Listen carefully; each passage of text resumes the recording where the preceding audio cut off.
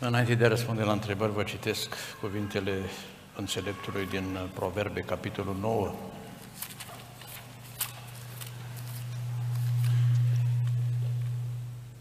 Versetul 9. Dă înțeleptului și se face și mai înțelept.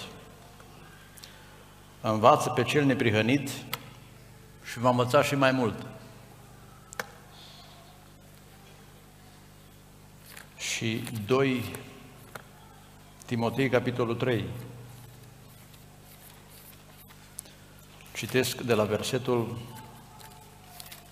16. Toată Scriptura este însuflată de Dumnezeu și de folos ca să învețe, dacă e cazul, să mustre, să îndrepte și să dea înțelepciune, rețineți, în neprihănire. Adică cine nu vrea să trăiască frumos și curat, nici să nu se aștepte să priceapă, nici nu poate primi. Dar cel neprihănit, cel înțelept, își îmbunătățește purtarea, calea. Să ne ajute Domnul să fim cu scrie versetul următor, desăvârșiți și cu totul destoinici pentru orice lucrare bună. Amin? Îmi spunea soția că la una din uh, părtășiile de genul acesta din Italia s-a rugat și a zis, Doamne, dă-mi un semn așa să văd folosul, dacă tot umblăm. Și după întâlnire sau o soră la ea, avea, cred, vreo 50 ceva de ani și a zis, soră, azi am priceput unde e problema, e la mine. Soțul în țară, eu aici, știu ce trebuie să corectez, mă duc în țară la bărbat. Asta e marea curiozitate, culmea. Știm unde trebuie să se corecteze altul și nu știm unde să ne corectăm noi. Dar vin cu o întrebare. ce e mai ușor? Să se corectezi pe tine sau să o corectezi pe altul? La altul cap, n-ai cum să ai tu acces. Să sucești acolo rotițele cum vrei, nu? Băi, nu mai gândeai așa, nu mai zi așa. Fiecare se poate pe sine cerceta cel mai bine, asta nădejdea că șcujetul ne este curat și că vrem să fim sinceri cu noi înșine. Și s-ar putea, după ce ne corectăm pe noi, nici să nu mai fie mare nevoie să corectăm pe celălalt. De la sine să-și dea seama, să ne răsplătească Dumnezeu cu oferta Lui. În ideea aceasta vreau să abordăm întrebările.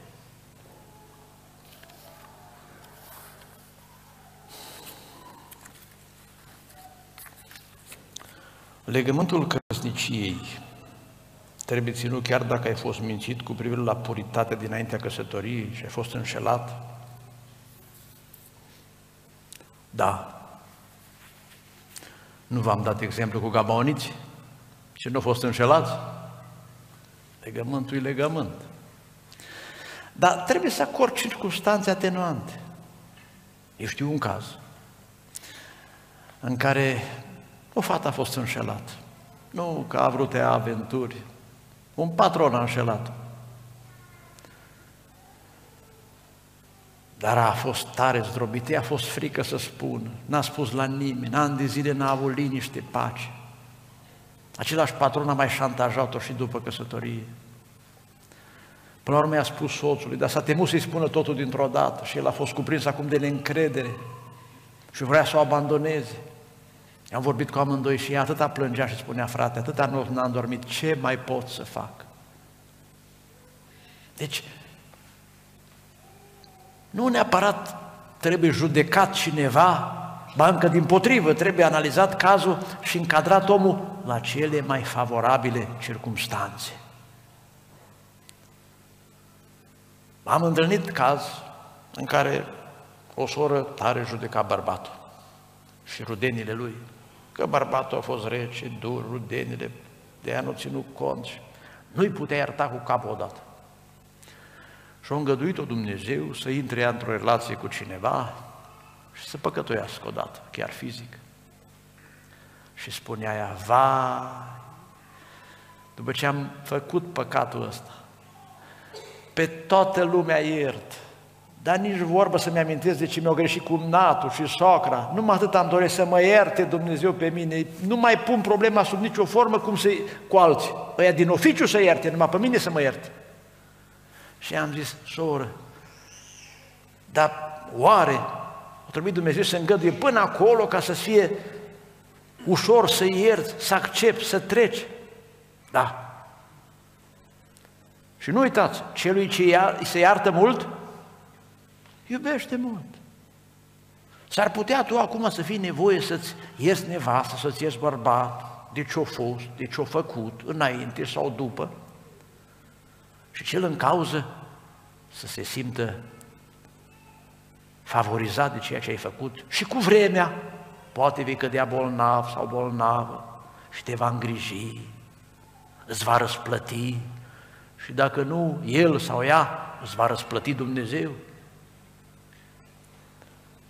În același bilețel este scris,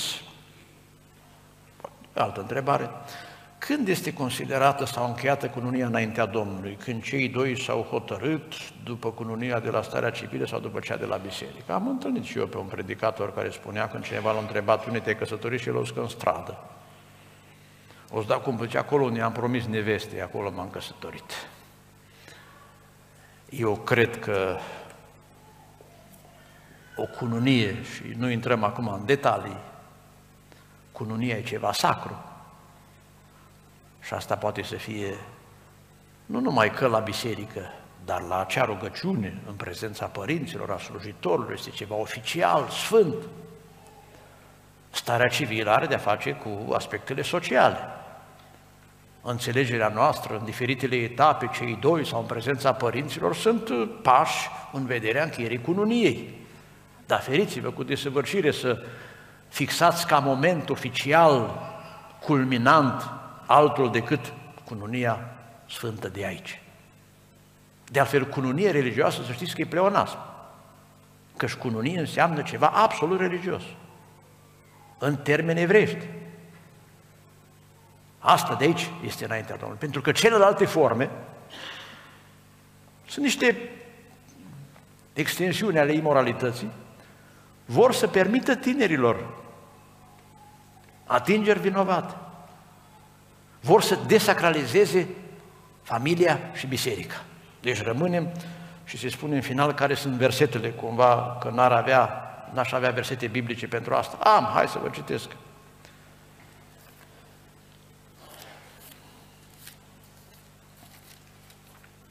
Am amintit deja, Marcu 10 cu 9, deci ce am preunat Dumnezeu. Când am preunat? Luați istoria biblică. Era un moment oficial la poarta cetății, în prezența oamenilor lui Dumnezeu. Zice în cântarea cântărilor, de ziua cununiei, nu de ziua plimbării în parc atunci când se fac promisiuni reciproce de către cei doi. Martor, spune în Maleahi 2. Ori mărturia aceea se face într-un mod oficial, pentru că sunt responsabilități spirituale, nu doar de ordin social și material. Dar nu cred că trebuie să intrăm în polemică.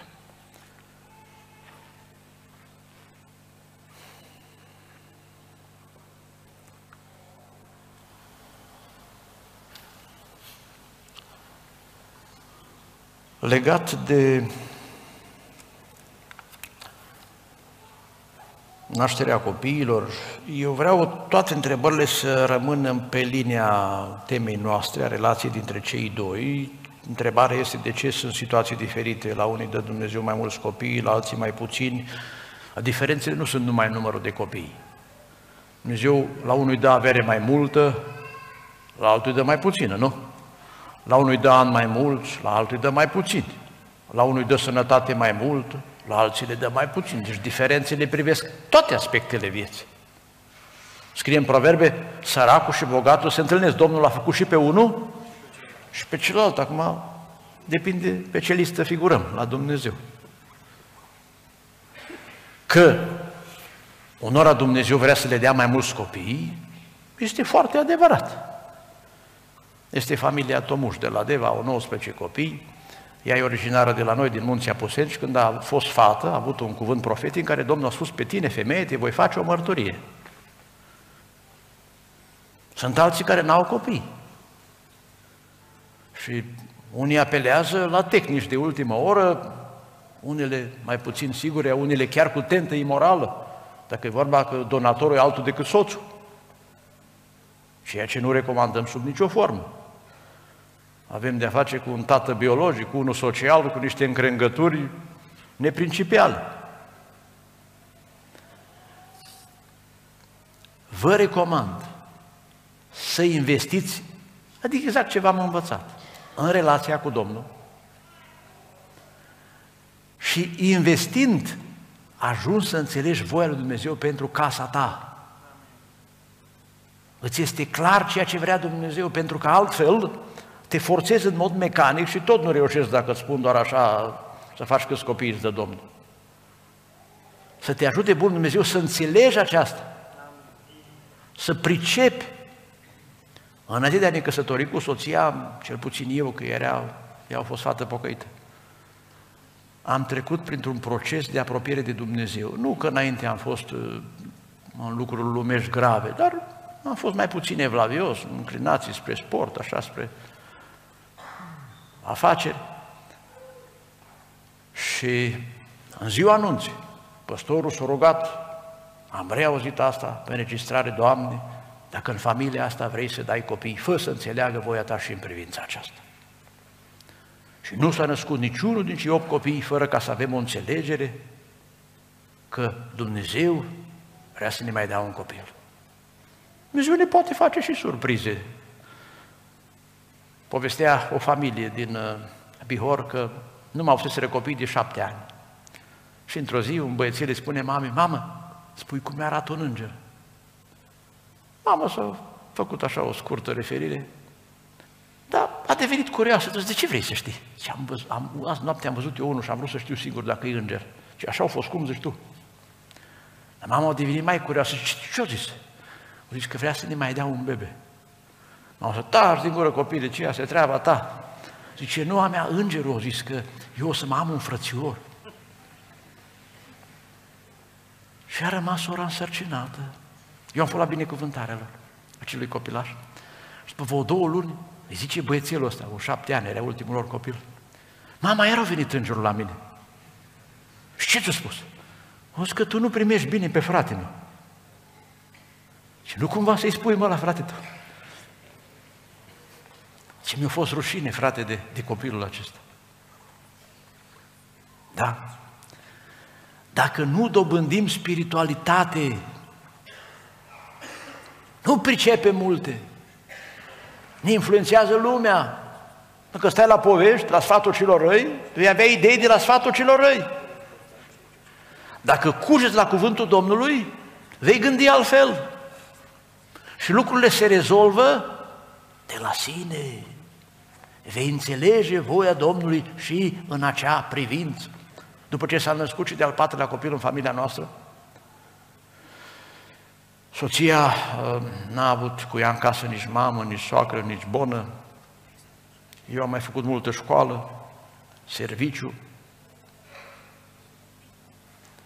Și m-am gândit dacă nu cumva trebuie să am o perioadă de abstinență mai îndelungată, să fie o pauză.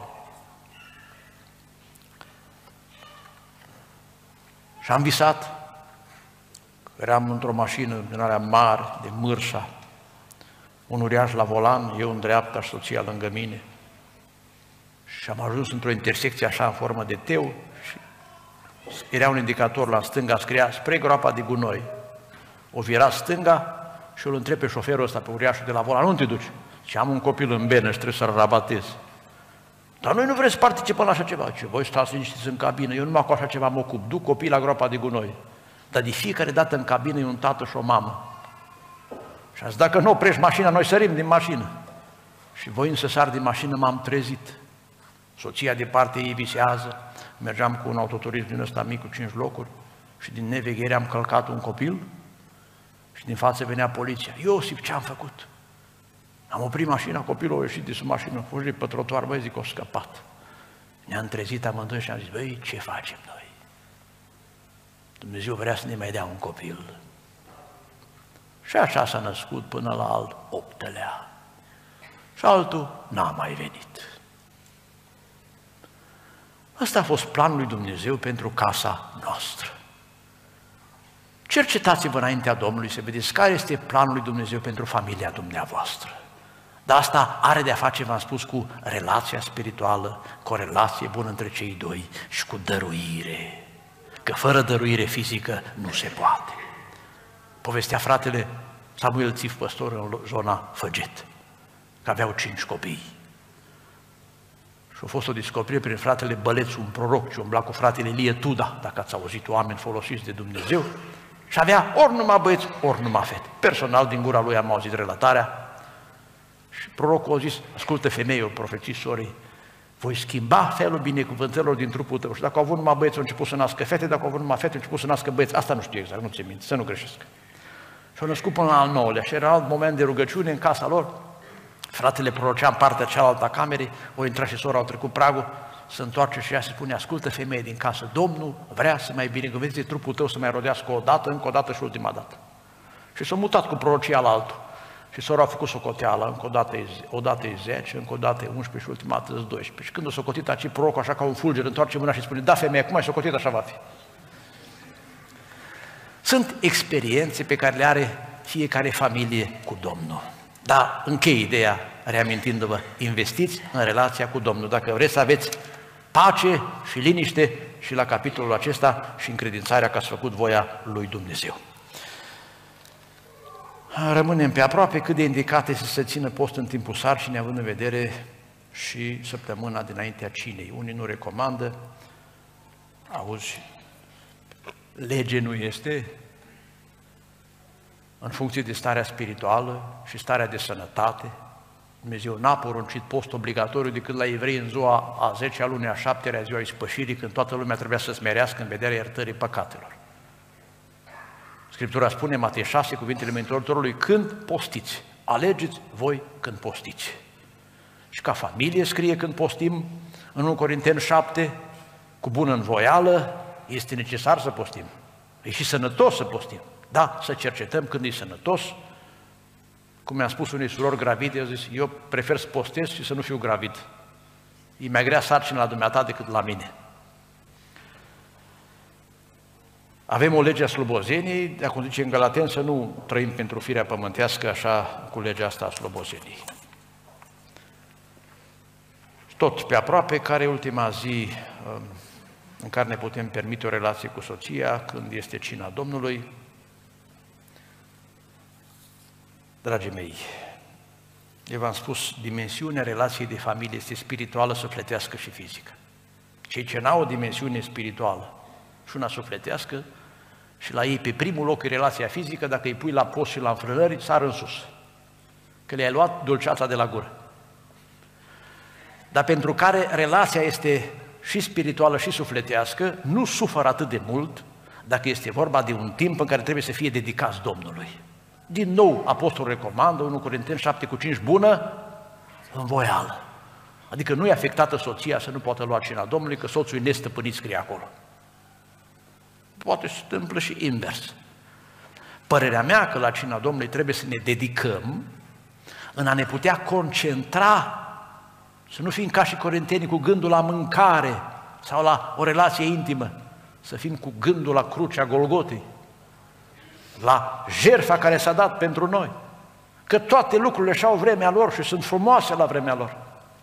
De altfel și medical vorbind, dragii mei, Că unii întreabă de ce trei zile. Eu nu știu de ce trei zile, dar Dumnezeu care e înțelept, ă, pentru anumite momente speciale, a socotit că trei zile ă, ar fi suficiente ca să se decongestioneze unii de o idee și să intre altă idee în cap. Dar tot medical se spune că 72 de ore trebuie la un bărbat ca să fie la potență maximă. E tot trei zile. Înseamnă că știu Dumnezeu ceva dacă și doctorul a descoperit ceva pe acolo. Eu nu fac nicio lege. Dar în ceea ce este biblic, recomandările, dacă putem să le practicăm, este foarte bine. Că este timp de toate. Și de mâncare și de post. Și de îmbrățișări și de departare de îmbrățișări. Și de rugăciune și de intimitate fizică.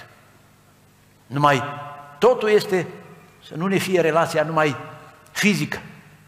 Cum îmi spunea cândva un bărbat, frate, nevastă mea nu mă acceptă fanteziile mele sexuale și de atunci viața mea de familie a devenit prea monotonă. Adică în viața de familie tot farmele când stă în fantezii sexuale, așa după ce vizualizează vieții oameni sau după cum îi poartă firea pământească. Oamenii cu fantezii nu se opresc. Aminteam aseară, se consideră că pe viitor sexul trebuie să fie unul tehnologic. Adică să ne dea computerele idei ca ce ar mai trebui de făcut. Că mintea noastră și trupul nu mai știe cum să-și facă de cap. Asta tot pentru că oamenii nu investesc în dimensiunea sufletească și spirituală și se rezumă la o împlinire fizică, la ce mâncă și ce beau și atunci nu le rămâne că tot fizic să moară. Doamne, ferește de o astfel de ideologie. Amin.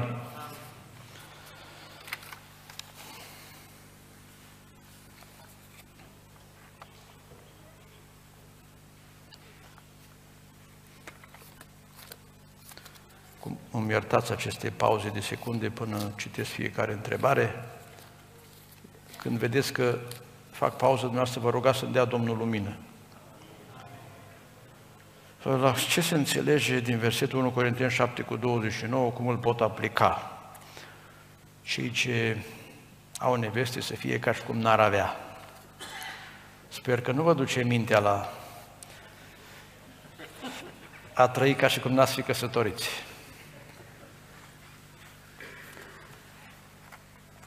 Aici apostolul face referire la perioade critice, vremuri de persecuție. Sunt situații în care trebuie să accepti vitregia soartei, dar nici de cum nu se înțelege aici să nu-ți faci într totul datoria ta de soț, de la partea spirituală până la partea fizică. Sub nicio formă nu e aici ceea ce au înțeles unii în primele viacuri, când se recomanda chiar soțul și soția să trăiască un fel de, de călă, călugărie, ca să fie cu nevasta în casă ca și cum n-ar avea, sau cu soțul. Nu se referă la asta.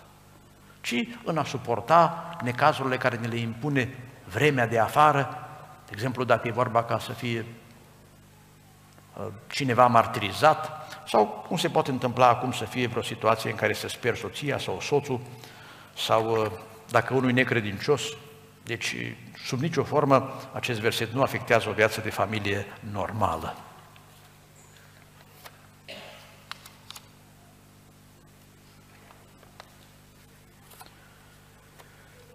Aici este o întrebare care, cum să o aduc eu la textul nostru, hai să o aduc și pe asta, să o convertesc.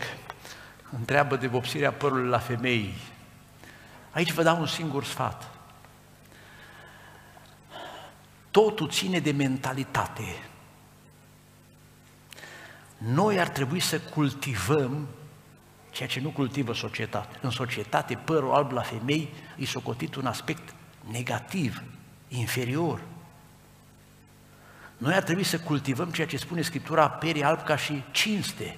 Și când apare părul alb la soția ta, să apreciezi valoarea anilor, caracterul ei, frumusețea spirituală, apar și ridurile, apar și toate celelalte semne ale îmbătrânirii. Bun, părul vopsim, dar cu ridurile ce facem? Hai că le mai întind și pe asta, dar vocea răgușită, toate celelalte, ce facem?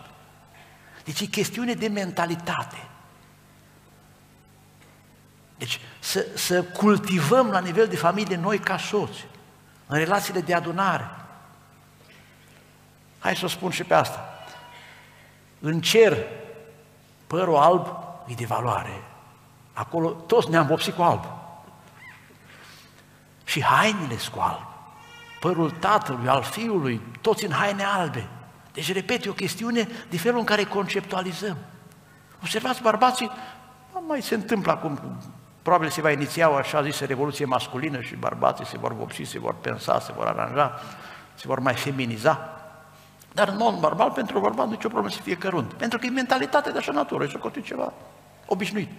Deci să ajutăm surorile noastre, că degeaba le spun eu nu vă bopsiți, dar va să vă rămâne mentalitatea aceea, uite, o bătrânit așa repede. Să ne putem corecta de la rădăcină o chestiune de mentalitate în a fi apreciat. Citeam în, într-un număr al revistei din Sămânța Adevărului, la o soră de vreo 40 de ani început să apară lidurile și a venit un comerciant ambulant cu ceva unguente, uite, zrevi și le-a cumpărat, erau orate, s-a părut că să arate bine în fața soțului și s-a dus la o adunare și acolo o femeie, o bătrânică, toată riduri pe față, cu un caracter nobil, le vorbit așa frumos. Și a zis, dar nu, nu, n-a, n-a contat deloc că e, e așa pe față, și, și răzbătea o lumină peste ridurile ei și la întoarce spre casă, zice soțului, așa mi-aș dori când voi fi bătrână să am seninătatea femeia acesteia și caracterul ei. Și zice, lasă-mă să spun, uite ce m-a înșelat diavolul și mi-am cumpărat unguientele astea să arăt mai tânără. La care el zice, da, ți-am băgat eu de vină că ți-a apărut vreun rit pe frunte? Și e drept că nu, dar m-am gândit eu că poate o să privești tu. Deci tot e chestiune de mentalitate. Ce fi liniștită, drag. Asta e trecerea vremii, asta este viața pe pământ. Dumnezeu să ne dea o gândire bună. Amin.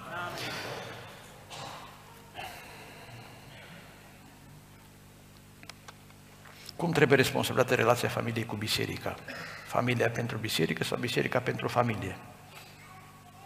Vă rog un răspuns nesuperficial. Dar îmi promis că o să fii profund. Dacă îți dau un răspuns mai profund, nu sacrificăm biserica pentru familie, nici familia pentru biserică. Le ajutăm pe amândouă. Concret, nu cred că trebuie să-ți las o soție împovărată să mergi la slujbă. Dar nici nu vei putea să renunți la o slujbă doar ca să-ți ajungi soție, în permanență. am spus că totul se rezumă la cele trei idei, cel puțin asta e în concepția mea. Când ne rugăm, primim o lumină clară, o înțelegere. De exemplu, sunt situații în care sunt chemat foarte mult la evangelizări. Nu promit pe loc.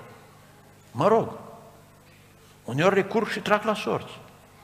Să mă duc, să nu mă duc. De exemplu, acum în toamnă am fost chemat să mă duc la o seară mai lungă la hal meu. M-am rugat și n-am primit așa o încredințare. M-am tras la sorți. Și ieșit să nu mă duc. Miercurea înainte de aceea vineri, soția mea a căzut bolnavă. Nici n-aș fi putut să mă duc. Și am zis, sorți o știut, că de data asta nu pot să mă duc. Și nu-mi cerea Dumnezeu să mă duc. Să stăm sub călăuzirea lui Dumnezeu, că m-am spus, familia și biserica e o singură firmă, nu-s două.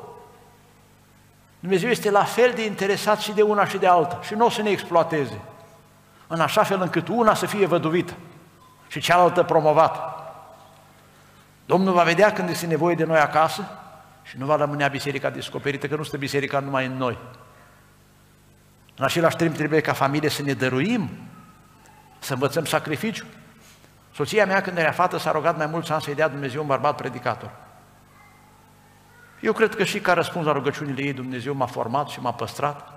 Și eu am fost de față, nu eram căsătorit și nici nu știam atunci că să fim împreună, când a avut o lucrare la Oradea pentru un bătrân. Ascultă, fică, binecuvântarea ți voi da cum ai cerut-o. Dar să știi că viața nu-ți va fi ușoară și vei avea o cruce de dus, că își va trebui toată viața să nu te prețuiești pe tine și să prețuiești lucrarea Domnului. S-a adeverit până la capăt asta. Să ne ajute Domnul să împletim frumos. Biserica și familia. Mă amintesc de o altă vedenie, mai cu ani încoace, a coborât așa un sul, s-a desfășurat ca o hartă înaintea mea și erau trei rubrici. Slujire în familie, slujire în adunarea locală, slujire în misiune. Și Domnul spunea, fii atent pe unde sunt trasate liniile între rubrici, să nu le împingi într-o parte sau alta. Doamne ajută, amin. Dacă a fost superficial răspunsul, să nu fie superficial rugăciunea și să vezi pe unde sunt liniile.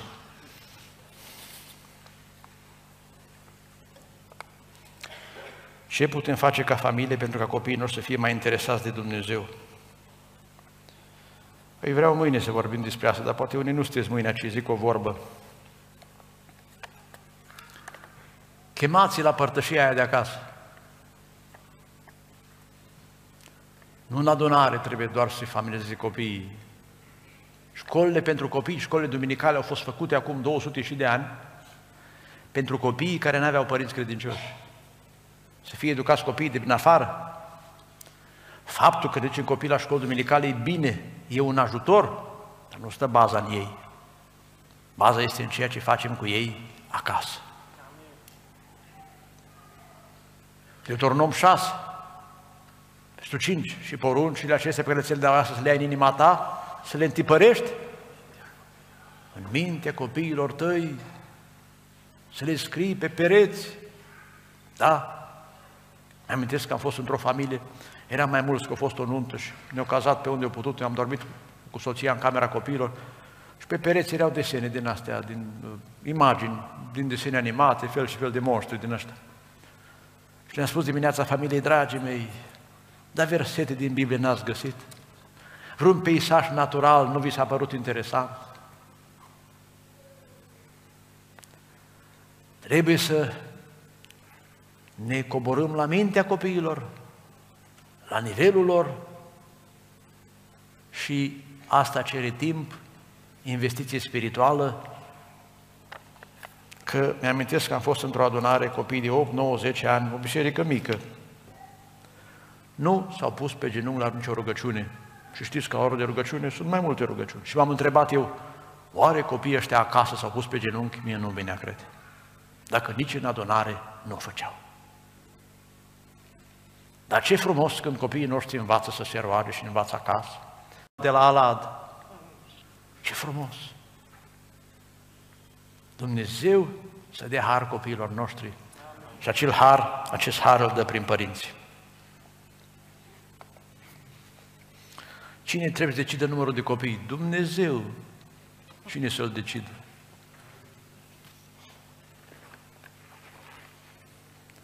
Doar Dumnezeu are socotelele lui. Eu zis la Avram că o să-i dea de la Ismael 12 nepoți. Și oamenii ăștia care l-au cunoscut pe Dumnezeu, l-au știut că Dumnezeu este implicat. Dar Dumnezeu nu o să spună așa, trag la sorți. Poate și dacă trag la sorți, dar postezi zile de post. Dumnezeu să spună dacă te apropii de El și dacă vrei să-L asculți și să-L înțelegi. Dumnezeu nu răspunde așa ca la 112 la toată lumea. Dumnezeu nu-i de servici pentru toată lumea. Dar dacă ne apropiem de El cu sinceritate, Dumnezeu ne poate răspunde.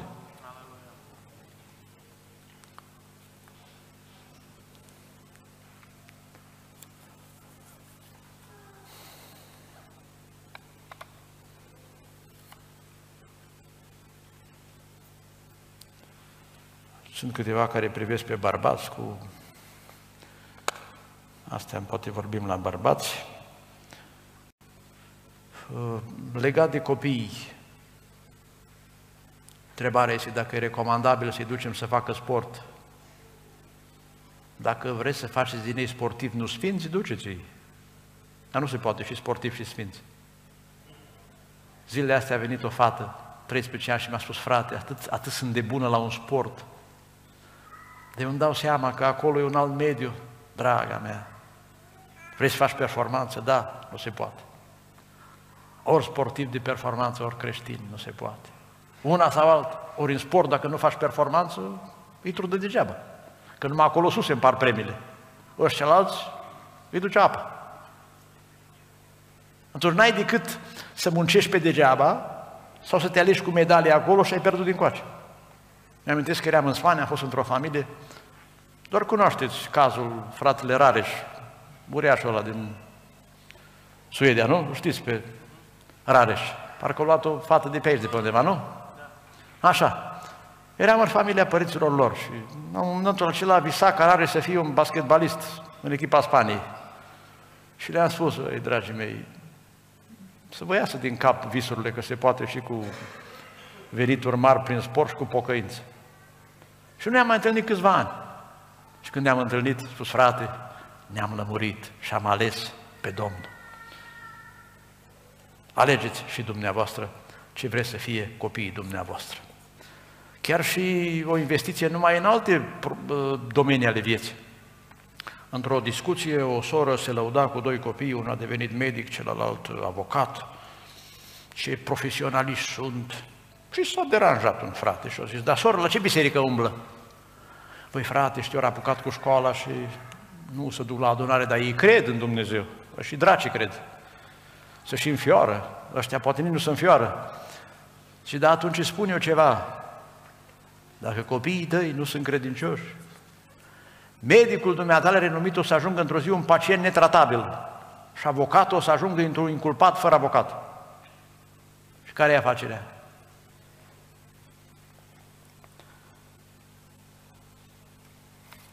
Dacă soțul are comportamentul lui Nabal, Biblia spune puțin despre Abigail, cine puteți spune pentru zilele noastre? Ba, spune mai mult de Abigail decât de Nabal.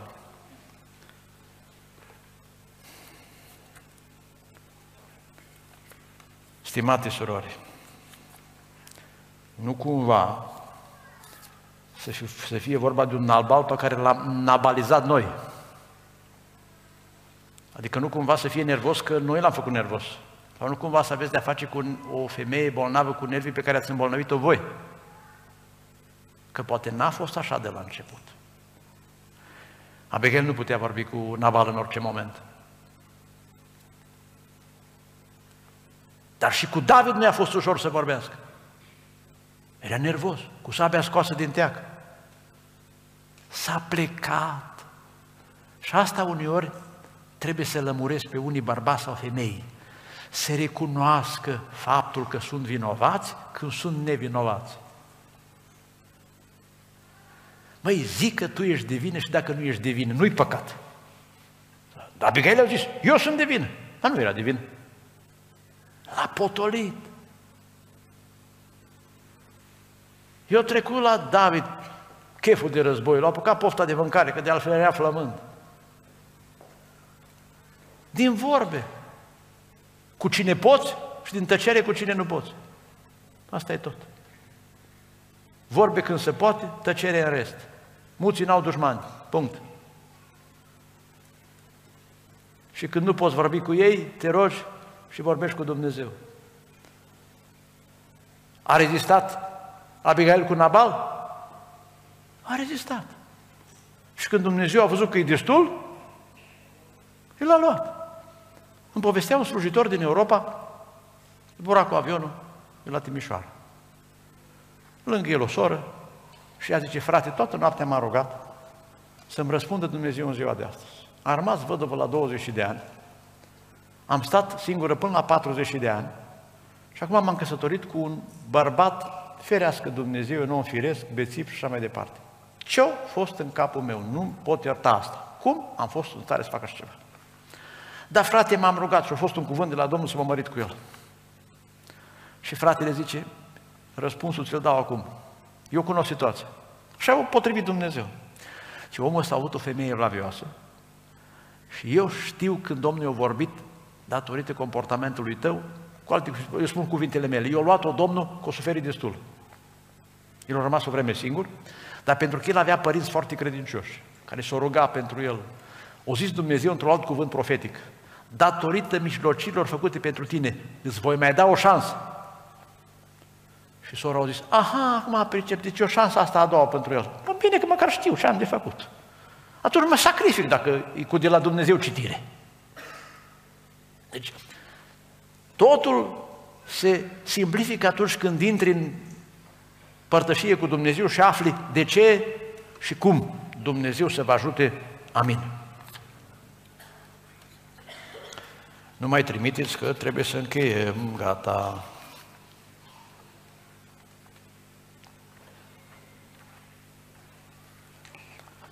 Ce măsuri trebuie luate pentru a stopa slăbirea spirituală. Dragii mei, m-a sunat un uh, bărbat de aici din Europa și spune, frate, la mine familia e praf. Soția are deja anturajele ei, ne certăm, strig la ea, risc să o lovesc, ce să fac? Zic, nu spune care e starea soției, spune care e starea ta. Am pe frate, eu am apucat cu munca, eu am avut pretenții, eu n-am apucat nici să mă duc la adunare, că trebuie să muncesc ore suplimentare. Ei, de aici se repară problema. Te apropii de Dumnezeu, muncești mai puțin, te pui pe post, pe rugăciune, te duci, te mărturisești, te duci la adunare, să-ți dea Dumnezeu energie, putere, ca să poți să reziști până când se va pocăi și ea și o ajuți încet, încet. Dar noi uneori am vrea, cum s-a dus un uh, predicator la un medic creștin și spune, frate, nu mă simt bine, consultă-mă. Îi face analize detaliate, spune, e cu tine e mare problemă. Tu trebuie să-ți modifici orarul de muncă, orarul de somn, regimul alimentar. Păi frate, asta înseamnă să modific tot orarul meu. Da. Nu, zice, asta nu vreau, dă-mi o pastilă. Așa suntem noi ori cu cele sfinte. În loc să luăm lucrurile de la capăt, să le punem în ordine, vrem să facă Dumnezeu miracole când venim la adunare și când bațem palme, ca și cum înghițim o pastilă, să se producă minunea peste noapte. Nu. Dumnezeu vrea să ne punem în rânduială. Că degeaba am băut pastila, ne este bine o zi, cât ține anestezia și apoi iarăși gafăm reîntorcându-ne la aceleași lucruri.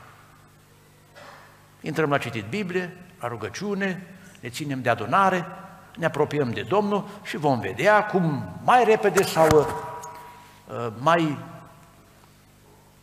încet Dumnezeu, după cum ne va da har, lucrurile se vor uh, rezolva. Cum poți depăși conflictele familiale după o perioadă când cunoști cu adevărat caracterul partenerului? Păi după ce îl cunoști mai ușor, nu? Știi când trebuie să taci, știi când trebuie să-i dai mâncare, știi când trebuie să te culci cu el, știi când trebuie să faci toate lucrurile, nu? Cine îți cunoaște mai bine soțul? Cine știe mai bine ce mâncare îi place la Isaac? Rebecca, nu? Nu de la ea au mâncat până la urmă mâncare. Nici de la Iacov, nici de la Esau. Pe baza mâncării făcute de nevastă o binecuvântat pe Iacov. Tu știi care ți este soția? Unde sunt punctele vulnerabile? Poate sunt moștenite din familie. Dacă vezi că este o gelozie, de exemplu, trebuie să știi că e un duh. Și trebuie să te rogi pentru asta. Și până atunci să o protejezi. Poate este o stare de irascibilitate pe un anumit fond. Trebuie să cauți în substrat să vezi de unde vine nervozitatea asta. Este o lăcomie și ea totuși dorește mai mult și pe fondul ăsta poate să aibă o stare de nervozitate permanentizată sau este uh, o mândrie ascunsă. Te lupți, te rogi. E legământ în care ne sacrificăm pentru mântuirea celuilalt. Dacă ne vom mântui nevestele, am făcut ceva în viață. Surorilor, 1 Petru 3 cu 1. Câștigați-vă soții fără fără cuvinte. Cum? Se poate. Nu știu dacă m-am povestit. La noi în biserică era o soră bucătăreasă, sora Iosana. Avea soțul polițist. Ce nume? El umbla în drumurile lui, ea venea acasă și se porta cu el ca și cu cel mai nobil bărbat. An de zile. El a ieșit la pensie, a început să vină la biserică, ea a căzut bolnavă la pat. Așa a fost de bolnavă că n-a putut fi prezentă nici la botezul lui, dacă nu greșesc, nici la mormântare. Că el, după ce s-a pocăit, mai trebuie vreo șase luni, deși nu era bolnav când s-a botezat. Și a murit. O 60, 60-65 de ani să fi tot avut. Cum a murit el? S-a făcut sănătoasă și a mai slujit la bucătărie 10 ani. Și acum trăiește ea. Și îmi povestea, frate, m-am rugat, Doamne, sănătoasă am fost de când mă știu, sănătoasă acum, ce-a fost cu mine bolnavă la pat până s-a pocăit soțul și la adunare. Și Dumnezeu știți ce a zis? Să nu-ți pierzi răsplata că s-a întors prin purtarea ta bună, te-am îngăduit la pat, ca să-ți rămână răsplata pentru vremea de sus. L-a câștigat. Bucuria ei. Dumnezeu să vă dea harul acesta. Cunosc N situații în care a fost câștigat fie soțul, fie soția. Dacă am avut o anumită atingere cu o altă femeie, dar nu neapărat o relație sexuală, în timp ce eram în relație cu actuala soție, trebuie să-i mărturisesc soție sau Domnului. Mărturisesc că am mărturisit, menționez că am mărturisit alte două incidente, iar soția a suferit foarte mult.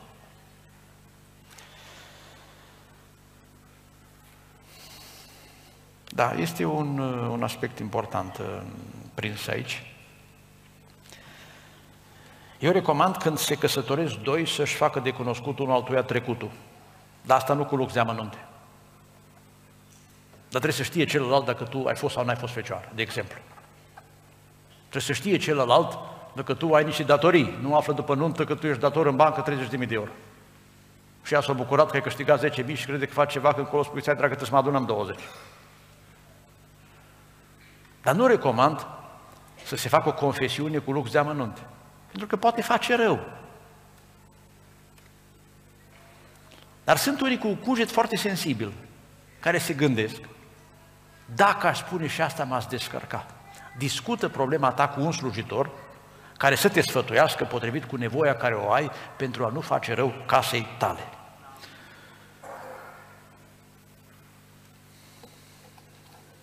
Da, cam atât. Dacă mai este ceva, discutăm la părtășia cealaltă ce urmează. Lăsați-mă, mi-am notat eu în final ceva.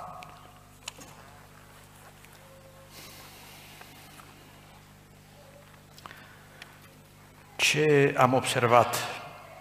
Sunt mai multe familii în care unul este mai spiritual și unul mai firesc. V-am spus că oamenii sunt doar de două feluri. M-a sunat o soră și îmi spune, frate, ce să mai fac? Soțul meu a fost pocăit, a slujit, acum s-a dus exact în extrema cealaltă în lume. Și când mi-a sosit acasă cu un televizor și l-a proiectat pe perete, o plasmă mare, și a spus copilul de acum, tata, vă întreabă ce film mi-ați văzut. A spus, am simțit că toată inima mea mi se umple de săgeți. Ce să fac? A ajuns până acolo să spună, frate, oare mai rău mă pedepsea Dumnezeu dacă nu mă măritam cu El decât să așa de pedepsită dacă cu El? Și i-am zis, încât îl cunosc eu pe El, tu ai fost găsită vrednică de Dumnezeu să te lupți pentru mântuirea Lui. Și mă bucur că asta dorează de câțiva ani și ea este cu nădejde și continuă să se lupte. Dacă fie soțul sau soția unui mai sus, mai spiritual, cu înclinații sfinte, celălalt trage exact în partea cealaltă. E speranță mare. Că zice în 1 Corinteni 7 cu 14 că soțul poate să sfințească pe celălalt. Sau cum am amintit din 1 Petru 3, că soția poate să-și câștige soțul. În astfel de situații, nu vă plângeți la oricine, nu desnădăjduiți, discutați cu slujitorii bisericii, rugați-vă, mobilizați-vă copiii, prietenii și Dumnezeu, cum era așa seara aici un cuvânt profetic, în care har să ridice anumite familii. Pe mine m-a mirat într-un mod pozitiv felul cum Dumnezeu a intervenit în anumite situații. Oameni care poate 10-20 de ani au stat în letargie spirituală, departați de adunare, sau poate unul căzut, s-au ridicat, căci Dumnezeu are putere. Vreau să încheiem într-un ton de credință. Să ne dea Domnul iertare pentru tot ce n-am făcut. Să ne ajute să știm la ce scop nobil suntem chemați. Și dacă sunt familii unde numai unul a rămas pe poziție, Domnul să-l țină. Domnul să-l și pe celălalt. Și iată, aici sunt situațiile în care biserica trebuie să vină în ajutor. Nu comentarii, nu discuții fără sens. M-a sunat sora asta disperată într-o zi și spune, frate, coboram de la balcon cu copiii. El nu mai vine la adunare. Și o altă soră, mai bătrână, zice, am auzit că e plecat bărbatul la tine, mai vine? Și vai frate cum m-a zdrobit. Și am spus, soră, dar nu pot pleca nicio noapte. Și vă dați seama, în drum spre casă copiii, ce tati, auzi ce zic la adunare, că tu ai plecat de la mame. Și zicea, nu, acum cum să-l chem la adunare? În loc ca cele mai în vârstă să se roage, să ajute, să ne dea Bunul Dumnezeu înțelepciune. Ca să putem ajuta cu adevărat, să înțelegem că familia și biserica au acest unic scop binecuvântat, să ne mântuim și să fim acolo în glorie. Ce vom fi acolo, familie sau biserică? De amândouă. Va fi cortul lui Dumnezeu cu oamenii, amin.